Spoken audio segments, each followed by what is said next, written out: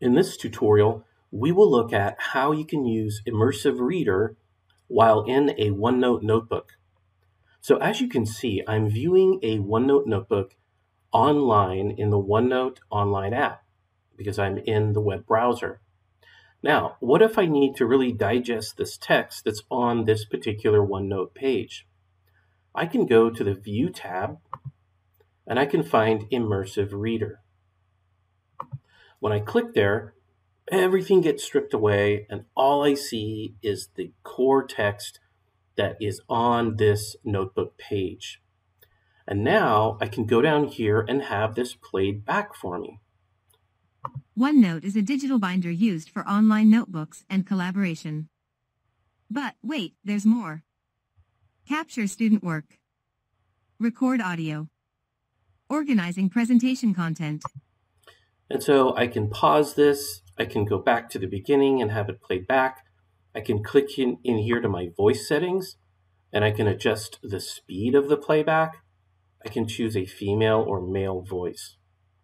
So lots of great controls there for playing back the text. Now, there is actually more to this. If I go up here to text preferences, I can adjust the text size. Maybe I need to see these with a larger font size.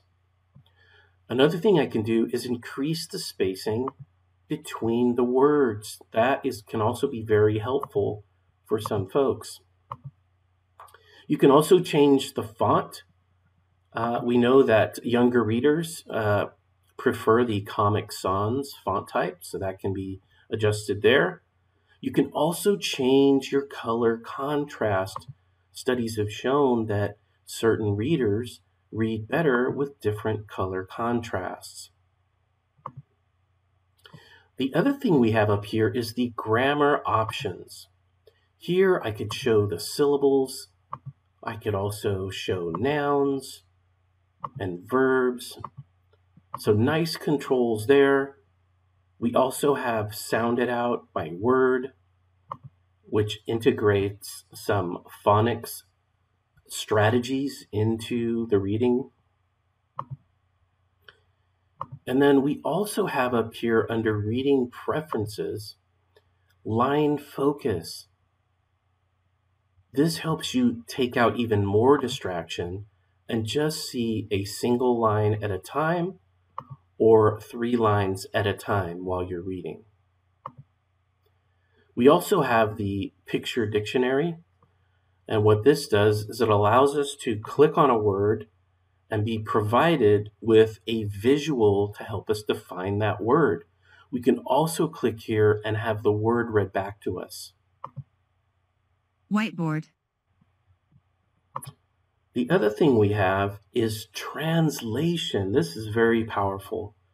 So if English is not my first language and I'm still learning English, I can go down here and choose any language and has have this read back to me in that language. I can translate the entire document with one click.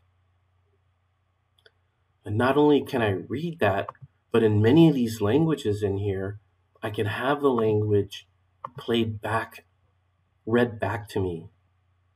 OneNote est un classeur numérique utilisé pour les ordinateurs portables en ligne et la collaboration.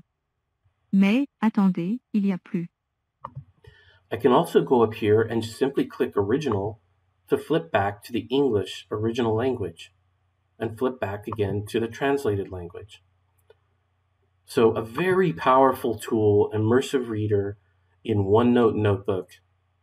Now to get out of this, you're going to just click the large back arrow located here, and we're back to the normal OneNote Notebook view.